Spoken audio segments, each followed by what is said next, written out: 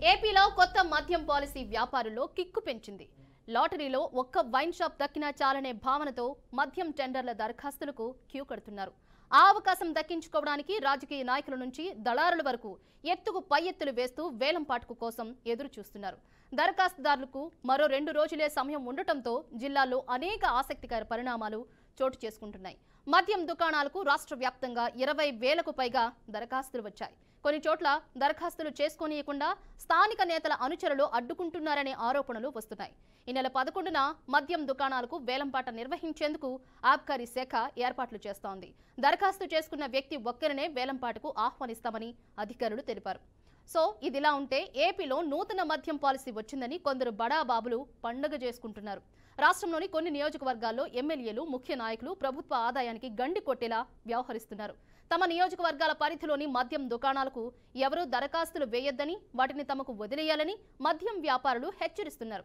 ఇక ఇదే అంశానికి సంబంధించి మరింత సమాచారాన్ని మా ప్రతినిధి వాసుబాబు లైవ్ ద్వారా అందిస్తారు. వాసుబాబు చెప్పటి మొత్తానికి ఏపీలో మద్యానికి సంబంధించి ఇప్పటికే బెదిరింపులు చాలా చోట్ల మనం చాలా వార్తలు వింటున్నాం. టోటల్గా వాటికి సంబంధించిన అప్డేట్స్ ఏంటి?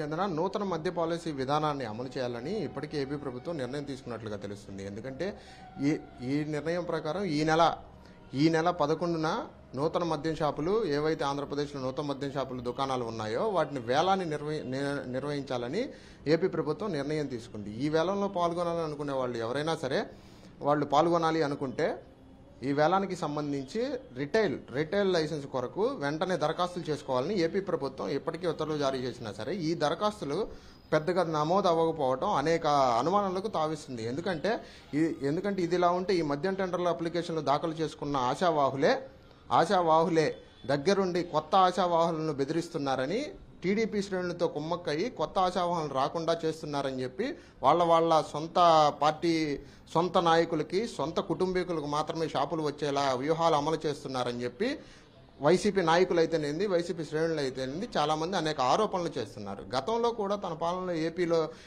ఏపీలో మద్యానికి అడ్డుగట్ట వేయగలిగామని వైసీపీ గత వైసీపీ మాజీ మాజీ మంత్రి ఎవరైతే ఉన్నారో అంబటి రాంబాబు చెప్పిన విధానం ప్రకారం తీసుకుంటే గతంలో తమ పనులు ఏపీలో మద్యానికి అడ్డుగట్ట వేయగలిగామని కూటమి ప్రభుత్వం వచ్చాక ఏపీలో మద్యం ఏరులై పారుతుందని చెప్పి ఎద్దేవా చేసింది కూడా మనం చూస్తున్నాం. అలానే ఇప్పుడు కొత్తగా టెండర్లు ఎవరైతే తీసుకుందాం అనుకుంటున్నారో కొత్తగా దాఖలు చేద్దాం అనుకుంటున్నారో వాళ్ళని ముందుకు రానివ్వకుండా టీడీపీ శ్రేణుల్లో బడా బడా నాయకులు అడ్డం పడి మా వాళ్ళకి మాత్రమే షాపులు కట్టబెట్టేలా అనేక వ్యూహాలు రచిస్తున్నామని చెప్పి దీనికి వైసీపీ నాయకులు మాత్రమే వైసీపీ నాయకులకి రానివ్వకుండా అడ్డుపడుతున్నారని చెప్పి టీడీపీ నాయకుల మీద అనేక ఆరోపణలు చేస్తున్నారు. ఇదే విధంగా ఒక మద్యాన్నే కాకుండా ఈ ప్రభుత్వం కూటమి ప్రభుత్వం వచ్చిన తర్వాత ఇసుకని సైతం తమ స్వలాభానికి వాడుకుంటూ ఇసుక సిండికేట్ను కూడా నెల నెలకొల్పి అక్రమార్జన చేస్తూ ఇసుకని బ్లాక్లో అమ్ముకుంటున్నారని వైసీపీ శ్రేణులు అనేక ఆరోపణలు చేయటం టీవీ ప్రభుత్వం మీద మనం చూస్తూనే ఉన్నాం.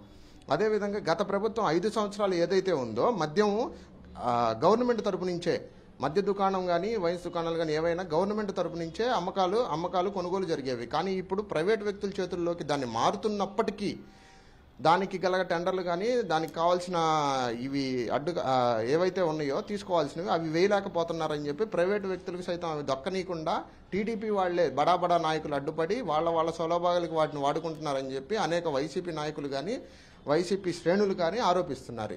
ఇవన్నీ చంద్రబాబు నాయుడుకు తెలిసినా సరే అంటీ అంటున్నట్లుగా వ్యవహరిస్తున్నారని చెప్పి అయితే అంటీ అంటున్నట్టుగానే వ్యవహరిస్తున్నారని చెప్పి వైసీపీ నాయకుడైన మాజీ మాజీ మంత్రి ఎస్ దరఖాస్తుల స్వీకరణకి ఎంత గందరగోళ పరిస్థితులు ఏర్పడిన నేపథ్యంలో ఒకవేళ వేలంపాటి దరఖాస్తులు గడువు ముగిసి ఆ దరఖాస్తులు అన్నీ అయిన తర్వాత వేలంపాటి టైంలో ఇంకెంటి ఎలాంటి పరిస్థితులు ఎదుర్కొనే పరిస్థితి కనిపిస్తుంది? అంటే ఈ విషయంపై ప్రభుత్వం నుంచి ఏమైనా స్పందన వచ్చిందా? ఇప్పుడు ఉన్న నెలకొన్న పరిస్థితులకు సంబంధించి.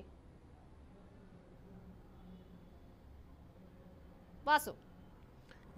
ఇప్పటి వరకు చూసుకుంటే మనం ప్రభుత్వం నుంచి ఎటువంటి స్పందన లేదు. ఎందుకంటే ప్రభుత్వం వాళ్ళ వాళ్ళ నాయకులకు సంబంధించిన వాళ్ళ వాళ్ళ సొంత కుటుంబీకులకి ఇస్తుందనే వీళ్ళు ఆరోపణలు చేస్తున్నారు కాబట్టి రేపు వేలంపాట టైంలో కూడా వీళ్ళు ఏదైనా గందరగోళం చేస్తే మాకు సంబంధం లేదు అన్నట్లే వాళ్ళు అంటి అంటున్నట్లుగా వ్యవహరిస్తారని మనం అనుకోవాలి. ఎందుకంటే టీడీపీ నాయకులే దగ్గరుండి వాళ్ళ వాళ్ళకి సంబంధించిన వాళ్ళకి ఇవి దక్కాలని చెప్పి వ్యవహరిస్తున్నారని వ్యూహాలు అమలు చేసి రచిస్తున్నారని పెద్ద పెద్ద విషయాల కింద దీన్ని తీసుకొస్తున్నారని చెప్పి వైసీపీ నాయకులు సైతం గగ్గోలు పెడుతున్నారు. అన్నారు.